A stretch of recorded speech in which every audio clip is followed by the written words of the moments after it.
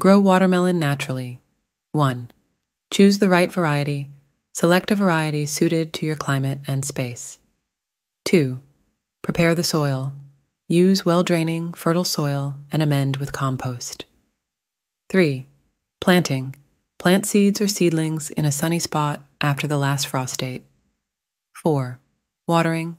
Keep soil consistently moist, watering deeply and infrequently. 5. Mulching. Apply organic mulch to conserve moisture and suppress weeds. 6. Fertilizing. Use organic fertilizers such as compost or manure. 7. Pollination.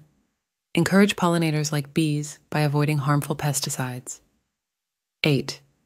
Pest and disease management. Monitor regularly and use natural remedies like insecticidal soap or neem oil. 10. Harvesting. Harvest when ripe, indicated by a dull rind, yellowish bottom.